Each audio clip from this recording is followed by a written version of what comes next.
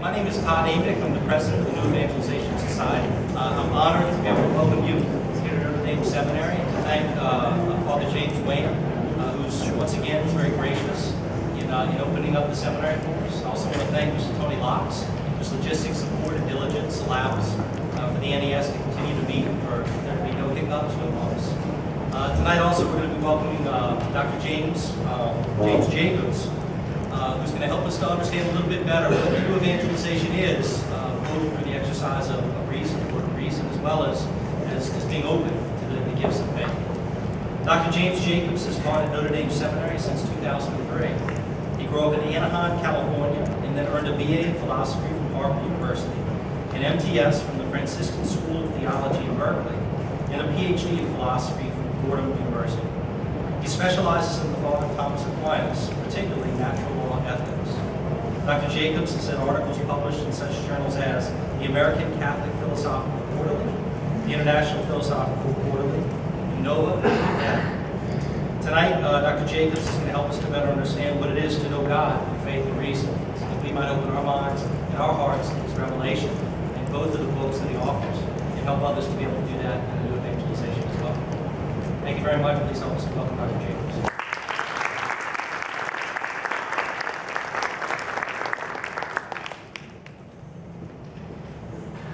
Uh, First, a comment about the uh, the handout. That's not directly pertinent to anything I'm going to say tonight, but I thought that was a good illustration of the idea of the many ways we can prove the existence of God. That Peter Kreeft has a uh, s- shortened version of the Summa Theologia called the Summa the Summa, and when he takes, uh, when he gets to Thomas's arguments for the proofs for the existence of God, he gives this long two-page footnote in which he lists what is something like 30 different proofs for the existence of God. I just thought that might be a helpful resource for you. Um, so I just thought that was an interesting side point, but I'm not really going to reference that directly. Given the widespread hostility in contemporary society, and especially in academia, to the idea that belief in God is rational, how can we even assume that the, the idea that God exists has something to do with reason? And there are three points at which we can show that the idea that God exists is in fact a rational claim. First, the idea that God exists is a meaningful idea. When we say it, people know what we mean. It's not like saying all the borogoves are mimsy, as Lewis Carroll said. That's nonsensical. God exists is a claim that everybody understands. Whether or not they agree with it, they understand it, so it's a meaningful statement. Secondly, if it's meaningful, it must have some truth value. If it's an idea that everybody understands, it is something that is either true or false. It can't be something that is neither true nor false as a meaningful claim. And then third, if it is true or false, there has to be some means of proof for that idea. There has to be some mode of evidence for it. And I'll take each of these objections up one by one. We'll spend most of our time with the third one, with the question with respect to evidence for the existence of God. The first one, that God exists, is sometimes questioned in modernity because there are some people who say that it's not even a meaningful statement. This is famously the position of the British philosopher David Hume, who was an 18th century thinker and was revived very uh, strongly in the 1920s and 1930s by a group called the Logical Positivists, whose influence carried on in America all the way through the 1970s. Now, the reason they say that it's not even a meaningful statement is that they claim that every meaningful statement has to have some reference back to a direct sense experience. So if I say the chair is blue, well, I have an experience of what blue is, so it's meaningful. If I say the tree is tall, I can have an experience of what tallness is, so that's meaningful. But they say that God exists. Well, nobody has sense experience of God. And because we don't have sense experience of God, it cannot be a meaningful statement. There are a couple of problems with, with this position. First, there are all sorts of statements that all of a sudden become utterly meaningless. So, for example, statements about the future. The future obviously does not exist yet. You can't have sense experience of the future, so they become inherently meaningless. And this famously in Hume, undermine, uh, Hume uses that to undermine scientific prediction. Also, any value statement becomes inherently meaningless. So that something is beautiful or that something is good is not meaningful because you, there's no sense experience of beauty. If I look at a painting, I can say, well, it's blue, or it's big, or it's uh, uh, angular, but the idea of beauty is not something that's inherently experienced. Also, the idea of moral goodness, right? To say that something is good, well, what exact moral, uh, excuse me, what exact sense experience does that trace back to? This idea that value statements have no meaning is attacked, if you want a good uh, attack on that, the first chapter of C.S. Lewis's book, The Abolition of Man, takes that up directly. Um, more importantly, when it comes to the question of ethics, to say that ethics is a meaningless statement, well, how do you defend that, especially after the Holocaust? Right? So the, all the British academic philosophers and the American academic philosophers in the Ivy League were saying that, well, ethical statements have no meaning. It's just the idea that if I say something is good, I like it. If I say that it's bad, I don't like that. And this is what they were arguing in the 30s and 40s. But how do you say that the Holocaust is evil doesn't have any meaningfulness to it? So that after the Holocaust, that mode of argumentation becomes increasingly uh, marginal and difficult to make. More importantly and more finally, the idea that all propositions have to refer to an empirical experience, have to refer to back to some sense experience, does it itself does not refer to any empirical experience. Right? So it's a kind of self-contradictory position. So if I say something is true only if I can have an empirical experience of it, well, I don't have an empirical experience that all true statements are based upon empirical experiences. So it's a self-contradictory position, and so that falls down. So to, to say that the idea that God exists is not meaningful, although that's been held on and off in philosophy over the last 200 years, is not a very tenable position these days. The second position is that some say that God exists is neither true nor false. It's merely a subjective belief that is useful to me or useful to you, but it cannot uh, have any objective truth value. This is the position of the German philosopher Immanuel Kant, uh, who is a terribly influential philosopher. He was uh, he died in the um, early 19th century, but he's he's the, the ghost behind all sorts of modern ideas that we have to contend with. Kant's idea was again based upon the idea that what we know is science. And if something's not directly provable by science, we can believe it as long as it's useful to me. This turns religion into a kind of therapy. Something is true because it makes me feel good. Something is true because it helps me deal with the world. Um, I just last weekend went to my 25th college reunion, and they had a symposium for graduates, one of which was on our, the development of our spiritual lives. And it was really disheartening me, disheartening for me to see that everybody who spoke about religion talked about it in these terms. Right? Religion is neither true nor false, it's just something that helps you get along in the world. Well, there are a series of problems with this. First off, it makes religion utterly relativistic. That uh, what is true for you could be not true for me, and um, therefore you have contradictory ideas that are simultaneously true, right? So the Christian holds that Jesus is the Son of God, the Muslim holds that Jesus was not the Son of God, and you can't just say, well, everybody believe what you want, because then there would be no truth statement to whether or not Jesus is the Son of God. But clearly, that claim is something that has a truth quality to it. Either Christ is the Son of God or he is not. Secondly, if they're not true or false, then all religions are the same. This is again something that you may have heard uh, that, well, it doesn't matter what you believe, but all religions really just help you be a good person. And again, this is the idea that religion is just there to help us be moral, to kind of be a therapy in dealing with life, but is itself uh, neither true nor false. Uh, because of this, because of the indifference with respect to the truth of doctrine, Kant himself admitted in one of his later works that each person creates their own God right? If God is simply something to help me get along in this world, then I create the God that is most useful for me. You create the God that is most useful for you. Well, the biggest problem with this, I think, is that is this really a road to salvation? Right? We find ourselves in a world where we're torn by our original sin, and that we know that we cannot lift ourselves out of it. And if I know that my idea of God is merely a fiction that I've created for a kind of therapeutic help in this world, I can't rely on that to guide me to salvation.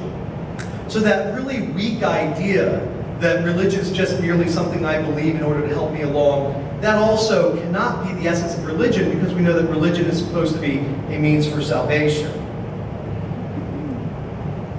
Uh, Third, some people say that God exists is a false claim because there's inadequate evidence to support the conclusion.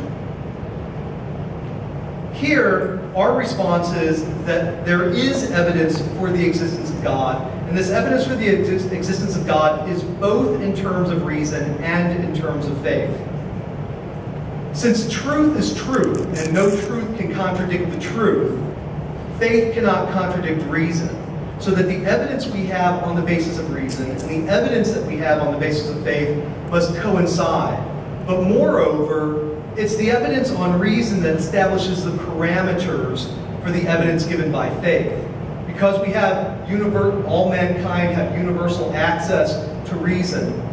The truths that we get by reason establish the ultimate boundaries with which faith then brings us past reason into the real supernatural understanding of what God is. And the rest of this discussion tonight will try and fill, that, fill out that position. This obviously brings up the deeper question of what constitutes rational evidence. Many people today have a scientific bias where they'll assume the only valid evidence for something has to be something that is related to science. So, for example, Carl Sagan, the great physicist, who was, who was indeed a great physicist, but was kind of a religious idiot, once said that the only evidence that he would take for God was something like a huge uh, decalogue on the face of the moon. Right? The only evidence he could take was something that science could prove. And so what we have to discuss is to see that rationality is not coextensive with science. Science is one mode of gathering evidence, but it's not the only mode of gathering evidence. Rationality as a whole means finding unintelligible causes causes for what we experience in the world. And that historically, this has not been restricted to science, but included philosophy. The problem is, is that about the year 1600, when modernity begins, they, uh, the philosophers decide for, for a number of reasons that knowledge can only be restricted to that which is utterly certain, meaning that which can be proved absolutely, and to that which is useful to know. Well, if you're talking about that which can be proved absolutely, you're more or less restricting yourself to the world where you can perform experiments, and that marginalizes philosophy. But I think more importantly, the idea that knowledge is power, as Francis Bacon put it, the idea that knowledge is only knowledge that gives us control over the world, also does harm to the idea that philosophy counts as knowledge. Because philosophy allows you to know the highest truths, to contemplate, contemplate the greatest realities. But that doesn't necessarily give us control of the world, and in fact, it does the exact opposite. Because if you know the highest truths, your only real reaction to is yes, amen, and you bow your head in obedience. You don't use that to try and control the world. But if you ignore that there are any truths higher than the material world, and you think that the material world is handed over to man so that we can manipulate it for our purposes, and that this allows us not only to have power over the world, but certain power, then you're going to reconceive what constitutes knowledge. And this is what's been happening over the last 400 years. And what we have to do tonight and in the, in the process of the new evangelization is to recover that ancient idea that knowledge isn't just scientific. Knowledge is scientific, but more importantly, knowledge is that wisdom of knowing truth that go beyond and behind the scientific truths. So, I've said that we can know uh, God both by faith and by reason. But the first point we need to make is that faith and reason approach God in different ways. Philosophy will get to God by observing nature and seeking the intelligible causes of things. Thus, we see that there's a universe that's existing that didn't have to exist, and we know that the universe is ordered in a way so as to imply that there is an orderer behind it, and that we can argue to the fact that there is a creator of this universe. Now, what philosophy gets us to is the idea simply that God is the creator of the world. But that's a very limited idea of God, and it certainly doesn't tell us everything we want to know about God. This is where theology comes in. Theology begins with revelation. Theology begins with what we get in Scripture and the tradition, and then applies that to everything else to make sense of it. Now, theology has to make use of reason in three ways in this process. First, theology does have to go back to what philosophy has said about God. As I said before, reason will give us the parameters or the rules for understanding how God can be. So uh, theology first refers back to those basic parameters that we get through philosophy about the way God must be. Secondly, theology uses philosophy to articulate the faith to make sense of it. So in the gospel, at the end of the uh, Gospel of Matthew, we have this, the uh, admonition, go out and baptize the whole world in the name of the Father and the Son and the Holy Spirit. Well, when the theologians come to that, they say, well, what does this mean? Are there three gods or are there one? And we know that being a, a good Jewish people, the early Christians said, no, there is only one God. So how can we baptize people in the name of the Father and the Son and the Holy Spirit? So they begin to work with, it, with this, and they eventually come to the realization, well, it's three persons in one nature. But the idea of a person is a philosophical category. The idea of nature is a philosophical category. So even to make sense of what we get in Revelation, you do have to import uh, philosophical categories to make sense of it. Um, and it's interesting, I've read some articles in the last few years about how a lot of the uh, reformers in the 15th century famously threw out philosophy completely, and they've had to go back and rebuild the wheel because they find themselves having to, to say, well, I'm not going to use philosophy at all, how do I make sense of Scripture? And they realize you have to use philosophy to make sense of Scripture. Um, the third way that theology uses philosophy is then to find a deeper understanding of the faith. And this is where have people like St. Thomas and St. Bonaventure and St. Augustine create their great theological works explaining all the details of the faith and giving a justification for the, what we believe. What we believe is given to us in Revelation, but this is where they justify it and explain it more fully. Now you might ask that, I've said that we can know God in terms of philosophy. Why do we need revelation at all? Why do we need theology? Why do we need faith? And St. Thomas takes this up in the very first question of the Summa Theologia. That before you write this 3,000 page work, work expounding the Catholic faith, the first thing he does is to say, why do I even need theology? Isn't philosophy good enough? And he says very pointedly there are two reasons why we need theology, why we need revelation.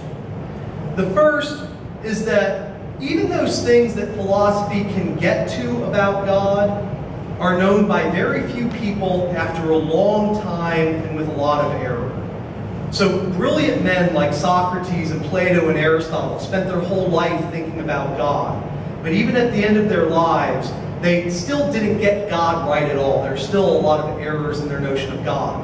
But frankly, Socrates, Plato, and Aristotle had it easy. They didn't have to work for a living. They were a philosopher like myself. And so, for those people who actually have to do something, they don't have the leisure to simply think about God.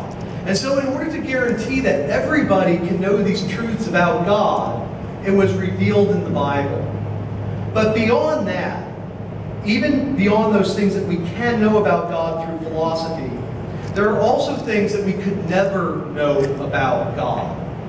These are things like that God is the Trinity, that Jesus Christ is the incarnate Word of God, that he became incarnate through a virgin birth, that he was resurrected from the dead. These are things that go beyond reason, and that reason could never understand. Uh, Étienne Gilson, who's a great Thomistic philosopher of the 20th century, once commented very succinctly, faith lies at the end of no syllogism. I could make all sorts of arguments about God, but that won't get me to the Catholic faith. The Catholic faith about God and Christ, about the Trinity and, and uh, Jesus Christ, are only knowable by means of revelation. There are a couple good historical illustrations of this. If you've ever read the, Conf the Confessions of St. Augustine, in Book 8 of the Confessions, he's sitting there and he's trying to figure out why he hasn't believed yet. He's got it in his head. He understands it. He has the Catholic doctrine, but he hasn't believed yet. And then what he has, what he needs is the gift of faith. And so although he's figured out all the philosophical aspects of it, he needs that last step of faith. And that's what finally leads to his famous conversion, where he hears somebody say, Tolle lege, pick up and read. And he picks up and reads from the letter, of, uh, letter to the Romans. And that leads him to his conversion. Another famous example is the, um, the 20th century philosopher Mortimer Adler. Mortimer Adler was a philosopher who started to work in Aristotle, and because he worked in Aristotle, he did some work in St. Thomas, and he became a great defender of the existence of God.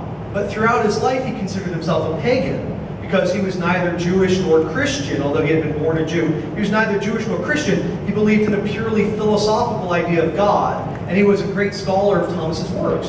And somebody asked him when he was 90 years old, why haven't you joined the church yet? It's clear that you believe. And he says, well, you know that faith is a gift.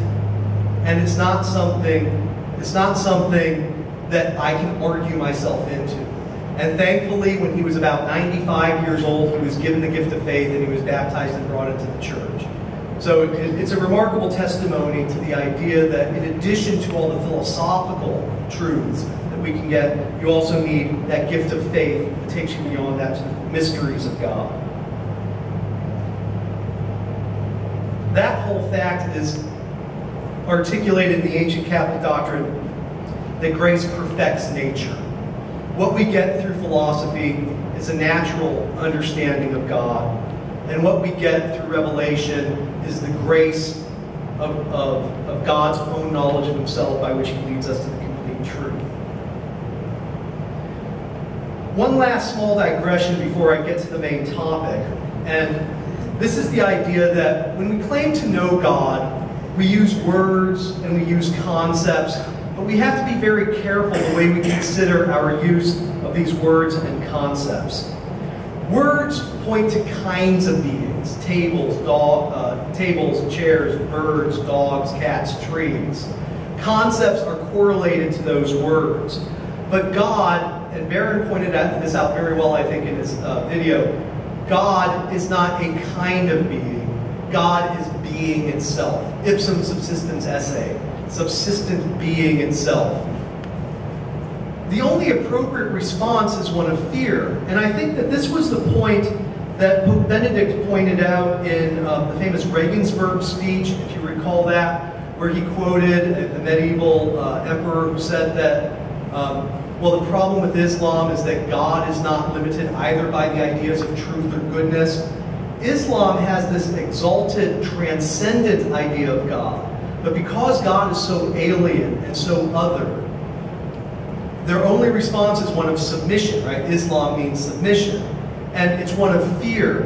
Whereas the Judeo-Christian tradition is a relationship of love because, because we know God's name, Yahweh that is, that's not the way that uh, the Islamic tradition points to it. And so, if we're going to form a relationship of love, again, God can't be simply alien. He has to be something that we know and we understand and can believe in. The other extreme, though, is to say that when we use words about God, it means exactly the same thing.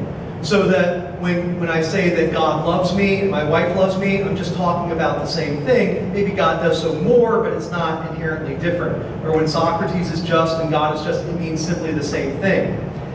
The problem with this is that it makes God just like everything else in the universe.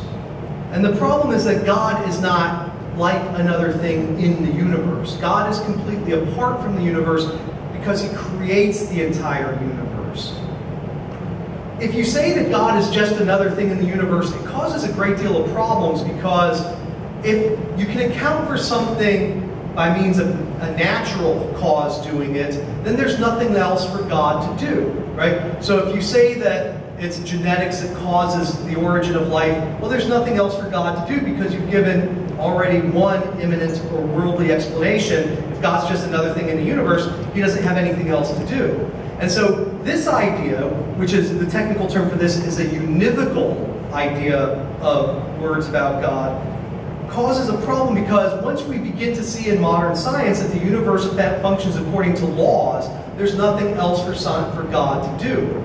What we have to do is to respect the God, respect the fact that God remains completely outside the world, and He's the creator of the world. So that although I can explain everything in the world in terms of scientific causes, God nevertheless can simultaneously be giving a different kind of causality. And that, uh, that uh, prevents us from falling into that uh, either or situation that we face, that we see in a lot of dialogue today. So what we end up with is having to say that we use words about God analogically. And to say that we use words about God analogically is that they're in some ways the same and in some ways different. So that when I say my dog knows me, my wife knows me, and God knows me, there is a sense of cognition where my dog does in fact know me, a sense of cognition where my wife knows me, and God certainly knows me. But they know me in three different ways. My dog knows me as the one who gives him treats. My wife knows me as the one to whom she is betrothed. And uh, God knows me as the one he created to fulfill my own mission on earth. And so we have to always keep this in mind, that when we speak about God, we speak about God analogically. This keeps God in a proper distance of transcendence and mystery because we never quite nail down exactly what God is. At the same time, it gives us an intimacy and familiarity with God because He really is like the creatures in, that He creates and having these perfections that we discuss. Um, and this, this is something that St. Augustine pointed out long ago, where he said that if you, uh, if you ever comprehend something, then what you're comprehending is not God, because God can never be fully comprehended by man. Okay, so having said that, what sort of evidence is available for the existence of God on the basis of reason? Reason is the attempt to know the causes of why things happen. So the birth of philosophy and the birth of reason in Western civilization was marked by a transition from mythological explanations to philosophical or logical explanations. If there were a hurricane or a tidal wave in ancient Greece. In 600 BC, they would have said, well, it's Neptune or Zeus or something. By the time you get to the philosophers, they're trying to find a natural explanation for why there's a hurricane or a tidal wave. They're trying to find a cause for what happens. Science will always find a cause for what happens based upon something that they can empirically prove, right? So science sees something going on and they'll postulate the existence of a chemical or a particle or a force, but then that chemical or particle or force is something they can go back and isolate and experiment on to prove that this is exactly what's going on.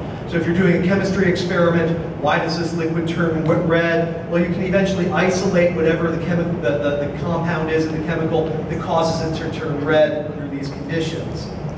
So if we can ask three basic questions, how would science answer them? What are things made of? Well, things are made of molecules, and molecules are made of atoms.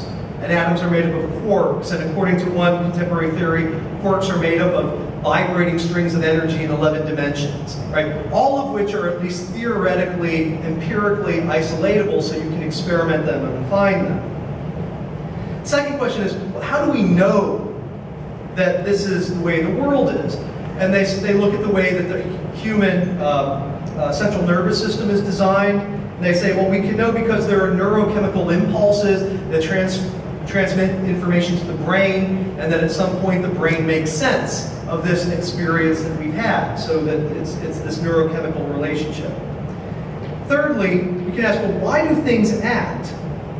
And they say, well, things act because there are laws of nature like gravity or entropy. There are the rules of physics, uh, Einstein's formula, the laws of chemistry, and or for living things, biological instinct. So that things are always acting based upon some sort of scientifically provable um, uh, suggestion about biology, chemistry, or physics. God, obviously, is not available in any of these, for the simple fact that God is not an empirically given datum. He is not a thing in the universe. Rather, God is the cause of all that is, and so he's outside the universe. But this does not mean that reason cannot get to knowledge of God. It simply means that we have to use a different method and ask slightly different questions to get to our understanding of God. And that this is where philosophy comes in. Philosophy, like science, begins with observing the physical universe. But in observing the physical universe, it seeks a necessary intelligible principle, a necessary principle that explains why everything else is the case. Philosophy as a whole, uh, uh, this is the most, most fruitful way I found to describe it. It says, why does the world make sense? Science has to assume that the world makes sense. If the scientist didn't assume that the world didn't make sense, he would never enter into a life of experiment. Right? If he thought that the world would undergo radical changes from day to day, or if he thought that his own capacities to know would fail from moment to moment, he would never enter into that rigorous life of experiment. But science can't explain why the world makes sense because that's what it must assume. Philosophy, on the other hand, tries to explain why the world makes sense.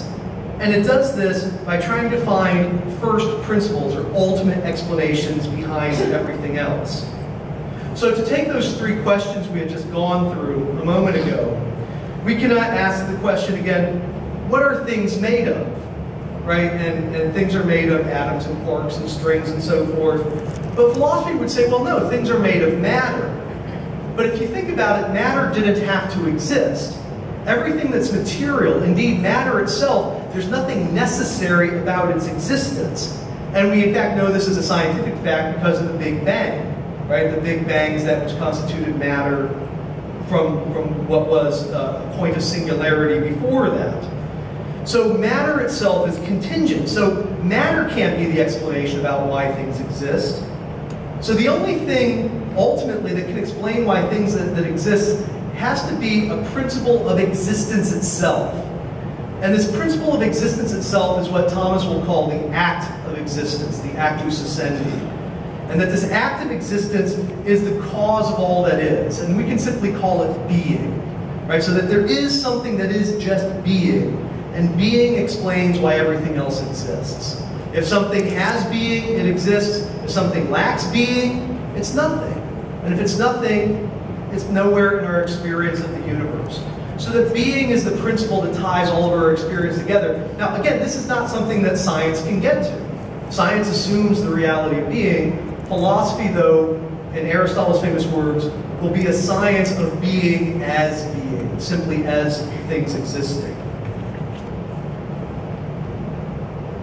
Secondly, how can we know this? Well, science would go to the idea that there's a series of neurochemical impulses in our brain. But are neurochemical impulses really the same as consciousness? There seems to be a qualitative difference between a neurochemical impulse, which is a specific, discrete event in the brain, and the idea of consciousness, which is limited neither by time nor by space so that I can witness a just act, but I can also conceive of the notion of justice that applies to every just act in every case. This is why we have to say that there's something to knowing the world other than these neurochemical impulses. And what this knowing the world other than neurochemical impulses is the mind. The mind makes judgments about our sense experiences. Science can explain why I have a sense experience, right? They put you in an MRI, and they show you pictures, right? And they'll show parts of your brain lighting up. They can explain how I have sense experience. But the fact is, in my sense experience, I make certain judgments that can't be, be uh, described in terms of sense experience. So for example, the idea of identity. So the idea, idea of identity is one thing is the same through time. But if I look at Sal, my old friend in the front row here, if I look at him, I have one discrete sense experience, and I look back, I have another discrete sense experience. How do I know that that's the same? I can't know that that's the same based upon another sense experience, because another sense experience would just be number three, and another one would be number four. To say that it's the same has to refer to something that's not merely a sense experience. And what makes what allows me to say that it's the same is that the mind makes judgments about these sense experiences. And so what we're getting at here is that the mind doesn't just put me in relation to the sense experience, but it puts me in relation to the way the world actually is. And it puts me in relationship to the truth. So that philosophy doesn't just ex examine being, it examines how I can know being. And the way that we know being is the truth. Sense experience can only tell me the world as it appears to me but we always make judgments about those appearances, and that's what philosophy gets to. How can I make judgments about these appearances? The third thing, why do things act? Yes, things act according to physical laws and chemical laws, but in addition to that, things act because they seek to perfect themselves. Things act because they're always seeking to achieve some final, some, some final goal. Apple trees are growing, grow roots, they grow leaves, they grow bark, they grow in height so that they can grow apples.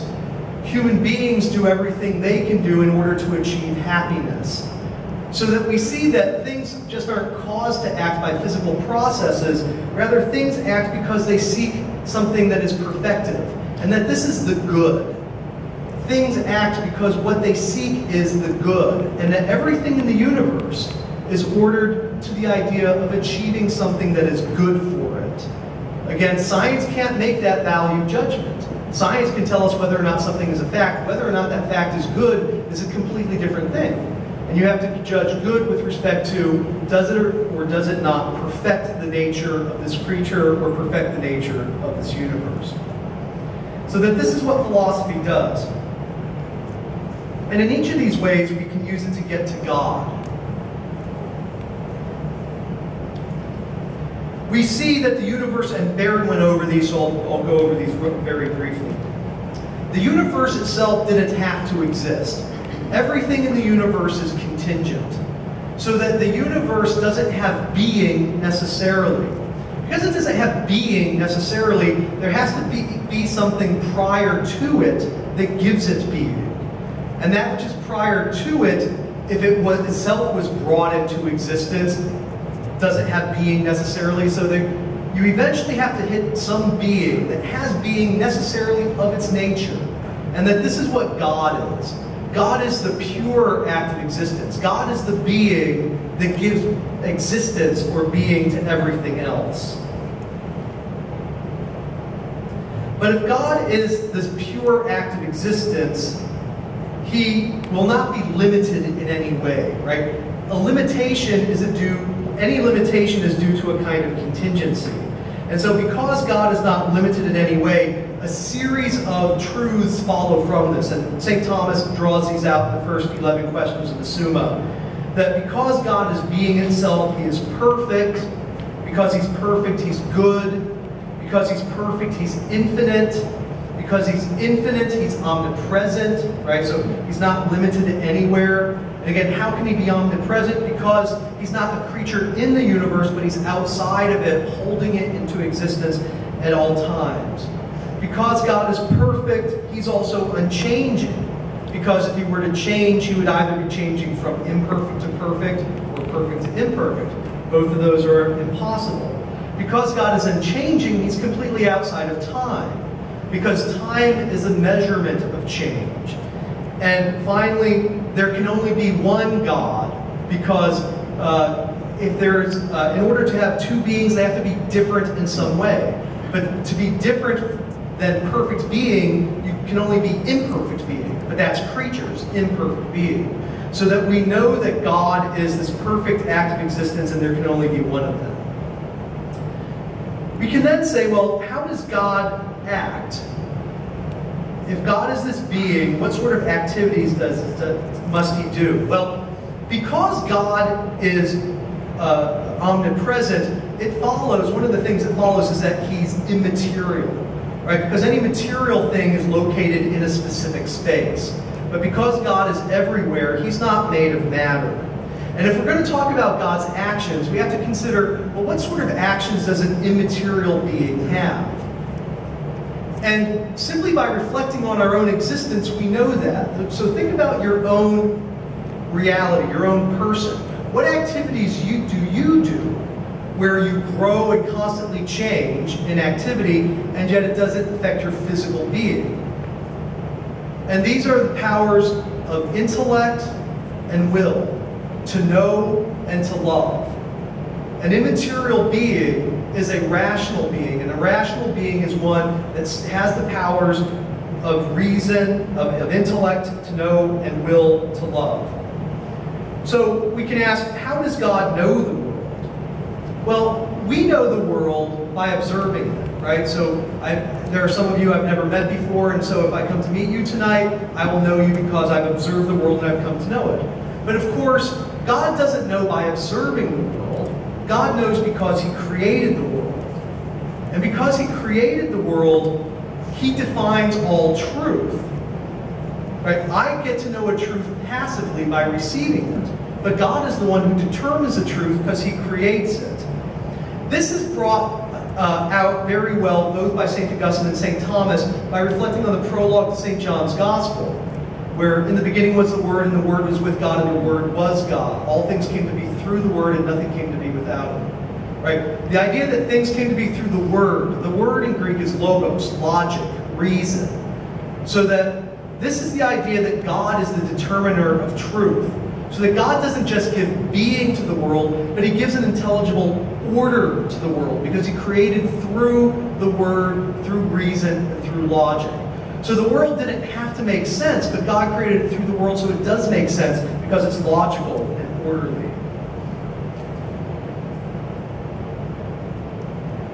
Moreover, we can ask, well, why does God create at all? When we act, out of will, we are always trying to perfect ourselves. We are seeking a good. So if I'm hungry, I seek a good apple to eat because that would better perfect me. If I'm lonely, I seek a good friend to talk to because that lifts me up in virtue. And if I want to really perfect myself, I seek God because in knowing God, I know my ultimate destiny. So that when we will ourselves to act, we're always seeking a good that we lack.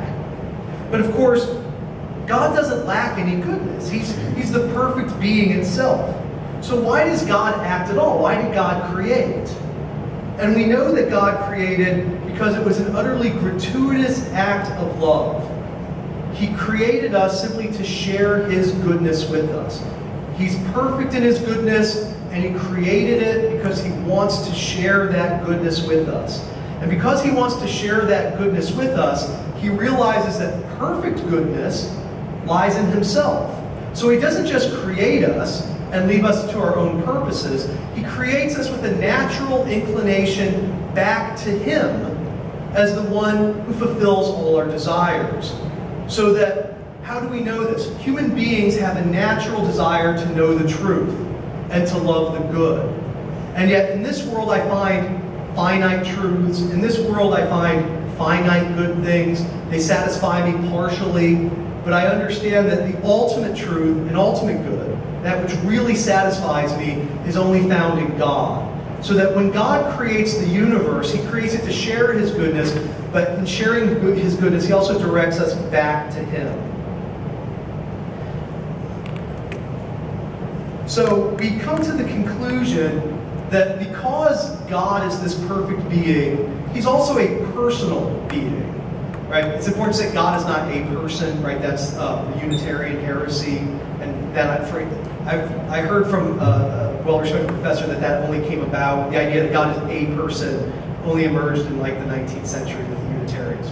But God is personal. God is three persons, so that He is a knowing and loving being, and that this knowing and loving being not only gives us being, it allows us to know that He allows us to know the truth, and it directs us back to Himself as the full fulfillment of my being. Um, I was uh, recently heard somebody say it's very comforting to know that God loves us just because we are. And I thought that's a nice sentiment, but it completely misses the point. And I think it's much more profound to think that we are simply because God loves us. Right? Our whole existence lies in God's act of love by which we come into being. And all God wants for us is to perfect that being by being ordered back to Him. And so He gives us the tool of reason by which we can know all these things. And that this is what Thomas Aquinas calls the virtue of religion. The virtue of religion is something that's shared by all people. And because all people, if they discipline reason well enough, can know all these things I just told you. They understand that there is a duty to offer homage to God. That offering homage to God is the virtue of religion. And so that religion is something that should be honored in all people. But this is where the Christian faith takes up. So that where other religions are man made attempts to offer homage to God, with faith, what we have is the gift of revelation that tells us the perfect understanding of God. It's not our attempt to offer homage and kind of, you know, with an imperfect idea of God. It's God telling him, telling us of His very own nature, by which we're ordered back to Him. Now, the first thing to see here is against a lot of the modern atheists, faith is not a leap in the dark. Right? The, the Lutheran philosopher Soren Kierkegaard, who's very edifying to read, he's a very interesting philosopher, but he's the one who uh, popularized this idea of the leap of faith. Well, the only reason he argued for a leap of faith is because he followed Kant's metaphysics, and he assumed that we couldn't know God. But I've argued here that in the Thomistic tradition, we can know God. Faith, recall, we recall that we need faith for two reasons. So that those things that we can know, everybody can know without any error, so that it's not just the philosophers who know these things about God, but even the farmer who's working in the field. But more importantly, there are the mysteries about God, the Trinity, the Incarnation, the Resurrection, the Pentecost, the Virgin Birth, that reason can never get to. 2 equals 4 because I can do a mathematical proof and break down that it's 1 plus 1 plus 1 plus 1. And I can prove that 2 plus 2 equals 4. I can know that God exists because I can have proof that God exists based upon those arguments that we had talked about a moment ago. Opinion has no certainty at all because there is no demonstration. So I have the opinion that the Saints will go to the Super Bowl again this year. Would I be willing to bet any money on that? Not at this point, right? Um, right. So I have an opinion that it's going to rain tomorrow. Do I know that for a fact? No, right? So I'm certain 2 plus 2 equals 4. I'm certain God exists. I'm certain that there's a podium here. Opinion is something I have no certainty. And just think about those things that you're willing to say, well, this is what I think, but I admit that I'm not certain. Faith is in between because faith has certainty even though it lacks demonstration.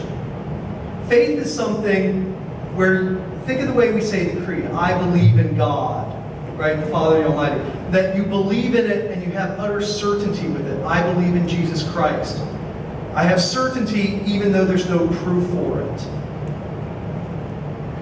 It is, as St. Augustine argued, to think with assent. To think with this unqualified and unconditional assent, this I believe, even though there's no proof for it. Now, the key to this belief is that you have to, you're not believing the statement, you're believing the one who tells you. This is again a place where modern philosophy gets it all wrong. Modern philosophy likes to take a statement, take it out of context, and then try and prove the statement. But statements of belief can't be taken out of context because you believe the one who told you. So that if somebody comes to me, if a stranger comes up to me and says, the world's going to end tomorrow, I'm just going to shrug it off. I'm not going to offer any, you know, I don't believe you. If Pope Francis were to say that he had a vision and the world's going to end tomorrow, I offer belief, right? So I believe the one who is telling me, not what is said.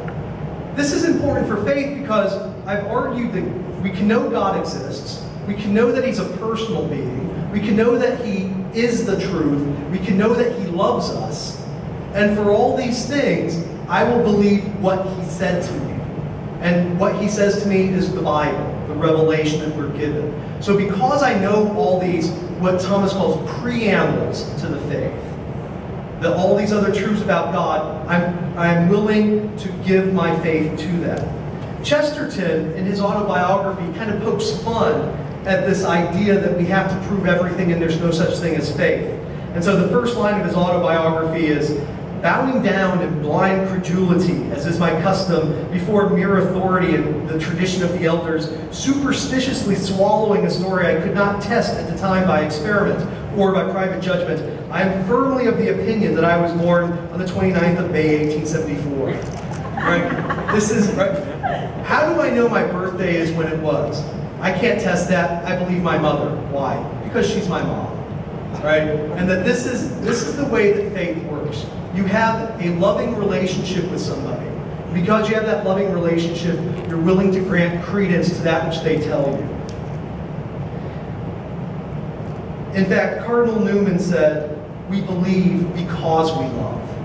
But because we love, we know God and we love Him, we are willing to make that act of faith. Now, having said that, right, you don't, you look at the person who's telling you, but you also have to put it in accord with everything else you know. Right? And Thomas brings this up at the beginning of the Summa Contra where he contrasts the revelation of Islam with the revelation of Christianity. And based upon everything we know about God on the basis of reason, the revelation of Islam just doesn't seem to work because that God is a God of a warlord and uh, uh, who is vindictive and killing and so forth. So um, you have to take the revelation or whatever somebody says and put it in the context of everything else you know. So that uh, even if you know sometimes my mother would uh, make a mistake and so although I'm willing to grant belief to my mother in many things, there are some things she would tell me and I'd say, well, that's so out of context that I don't think it, it could be the case. And we, again, we all know that experiment. So it's, it's juggling that love based upon our relationship with somebody and the background knowledge of what we know that makes it uh, believable. Now, the last question here is, well, how can we have certainty without a demonstration. And Thomas says the reason we have certainty, right, so that if something is proved, I just, I can't help but agree with it. Two plus two equals four. Yes, I see. There's a podium here. Yes, I see. You're certain about something, you can't help but agree. What allows us, without a demonstration, without absolute proof, to grant certainty or, to our faith? And Thomas says because faith is an act of the will. And what does the will desire? The will desires the good. And so I can have certainty because I can see that it is good for me to accept this thing on faith. It fulfills my natural inclination to know the absolute truth. I want to know the ultimate cause of that which is. Philosophy tells me that there is a God. Revelation tells me who this God is. And I can see that it's good for me to put myself in a relationship, a personal relationship with that God. And so I am willing to make the act of faith because it's good, right? The intellect is ordered to the truth, the will is ordered to the good, and faith is simply where we see it's good to believe this truth for us. The alternative, the, the denial of faith, is simply to say that man's natural inclination to know the ultimate cause is utterly futile and that therefore life has no point. If that which we most want to know can never be known and can never be given to us, then life, again, is something, um, then life is something that wouldn't be worth living because it would have no ultimate fulfillment.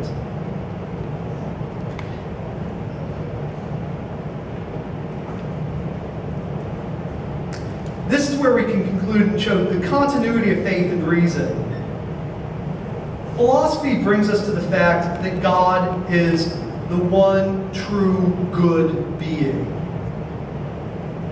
What theology tells us, what revelation and faith tells us, is who this one true good being is in the person of Christ.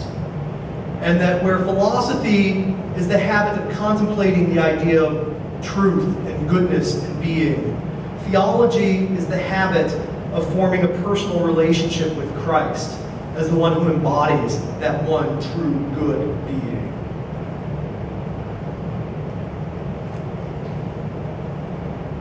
And that this personal knowledge then uh, ends up being the ultimate fulfillment of what we know. Thomas says that in this world, it is better to believe in God, excuse me, I'm sorry. In this world, it's better to love God than to know Him. Because we never have complete knowledge of God in this world. And so where knowledge falls off in this world, we have to love. We have to love the good, and we have to accept revelation. So in this world, it's better to love God than to know Him. But in heaven, where we get the full, direct beatific vision, the knowledge of God is better than the love of Him. But that is something that's waiting for some point later us all, hopefully. Thank you.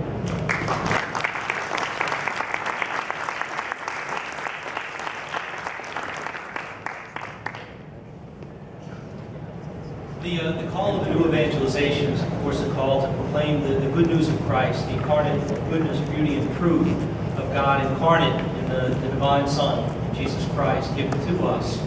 Um, which also means that we have to know some of the challenges and presuppositions of, of this age, this time, and particular of this culture. Um, so I, I, now open up the, the floor uh, for a, a, few questions. We'll take maybe maybe 10 minutes, uh, 10 or 12 minutes of questions. If you'd like to, to go to either of the two, two microphones here. Um, kind of take a take a breath, and if you get it in one breath, that's good. And if you wouldn't mind going to the, the microphone, that'll be helpful because we can hear the question, which will kind of then uh, lead us to the answer. Dr. Jacobs, like I said, will take about 10 minutes to be able to answer something.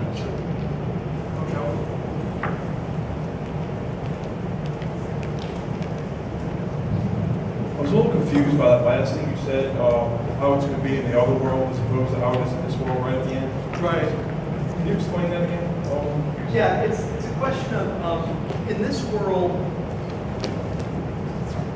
uh, it's a question of um, when we uh, when we know God. The question is, do we know Him in His fullness? And even with Revelation, we don't know God. We don't we don't know God in all His fullness. That only comes with the. And so, in this world, because whatever we have is a kind of incomplete knowledge of God, even with Revelation we, we, it's better to understand that this is incomplete and have an act of love by which I desire to complete that. Whereas in the next world, the, with the beatific vision, my desire for knowledge is completely satiated. And so therefore, because it's completely satiated, the love doesn't have to outstrip my knowledge. The love and my love and knowledge are co-equal at that point. So it has, it has to do with the limitations of knowledge in this world. Because even Revelation, right? Even Revelation comes to us historically mediated and linguistically mediated. And whatever we have, we, we can understand that God is Trinity, but we still don't understand what that means. A couple Sundays we had Trinity Sunday. And I, I always pity uh, priests on Trinity Sunday because it's, it's a mystery. And how do you how do you explain it? Well, we can talk about it, but we can't explain it. Whereas in the beatific vision, we have a more direct intuition of what that means. Does that make sense? That makes sense. Um, you spoke about why do things act. Yes. And you said that things act in order to perfect themselves to reach a greater good. Is that correct?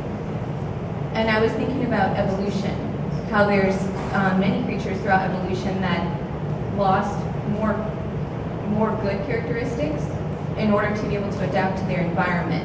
So uh, even humans and other creatures were, in a sense, more perfect biologically, but had to, or rather evolved, to have a trait that was less perfect or less good in order to be able to, to live in their environment. How would you explain that? Well, um, that's it's, it's a difficult question. I think on the one hand, when you look at cosmic history, and evolution is part of cosmic history, the, the idea that the good of cosmic history is not necessarily the good of every creature nor of any species, because we know that 96% of all species are now extinct, something like that, right? Um, so that the idea that the, the adaptation to a biological niche is in fact, I mean, you're, you're presuming a kind of better and worse that may or may not be the case.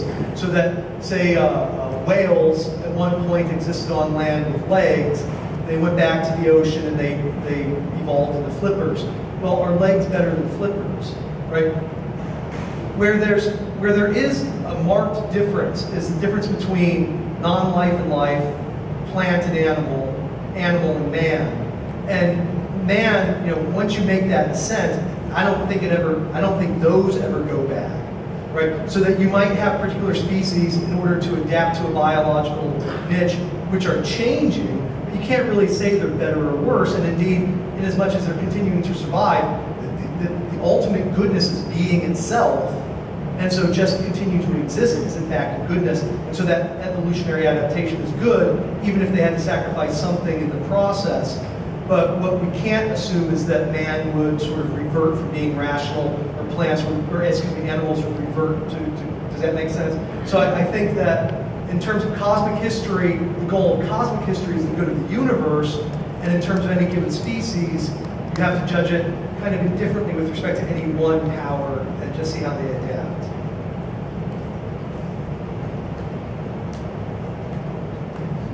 You said earlier, Dr. Jacobs, uh, science has to assume that the world makes sense. And it reminded me of a quote by G.K. Chesterton when he said that reason is itself a matter of faith and that it's an act of faith to assert that um, our thoughts have any relation to reality at all.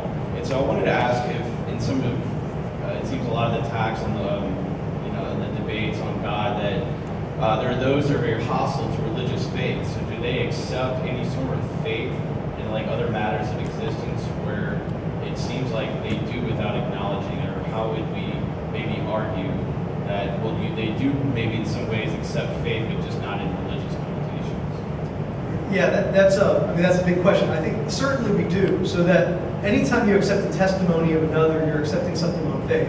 So an example I always like to bring up is whenever you land at Louis Armstrong Airport, it says, welcome to New Orleans. How do you know you're actually in New Orleans? In fact, you're. Uh, how, do you, how, do you, how do you know you're in You're accepting the testimony of others. And even these great atheists, um, you know, they might be scientists, but they have to accept all sorts of testimony from others because there's no way that you can prove everything themselves. So that that is um, a very important point uh, that there is testimony that they accept. I think a bigger question here is that the kind of skepticism about the limits of reason, and that it's a striking fact that in the last 30 years, the true two greatest defenders of reason in the public life have been John Paul II and Pope Benedict, because they've understood that reason cannot be restricted to science. They both constantly argued about that. And that the whole problem with the atheists is that they want to restrict knowledge to a very small area, but that's ultimately inhuman. Because if you restrict knowledge to mere scientific fact, well, then you can't know any value. And if you can't know any value, then our moral lives and the meaning of life itself is ultimately arbitrary. Edmund Husserl, who was a, a philosopher, he's probably an atheist himself, but he said he had, he had a great attack on that idea where he said merely fact-minded sciences make for merely fact-minded people. And merely fact-minded people are very good with data, but data is never self-interpreting. You always need some background value judgments by which to make sense of data. And these scientists simply say that that can't count as knowledge. Or if they can't count as knowledge, I don't know how you can live a human life. Because a human life isn't merely data. We're not robots. Rather, we're people who make judgments about data based upon certain values. This was a great attack of, in the early 20th century, there was a movement to turn politics into political science right? I mean, most, I think colleges probably have departments of political science. Now, the difference between politics and political science is that politics in Aristotle is the second half of his ethics. Politics is about achieving the good for a country or the good for a city-state. Political science is a value-free interpretation of data, right? So you do demographic tests to see how you'll get the most people to vote for you. And there's no values there. The problem with that is that even political science assumes that there's some good. And what it assumes is that it's good to have people vote for me, right? And so although it claims to be value-free, you're just surreptitiously importing another set of values, typically Machiavellian values and crass values, into political science for your own purposes. And so I think that, that hey, science is wonderful, and, and, and I thank God every time I go to the doctor that we have science.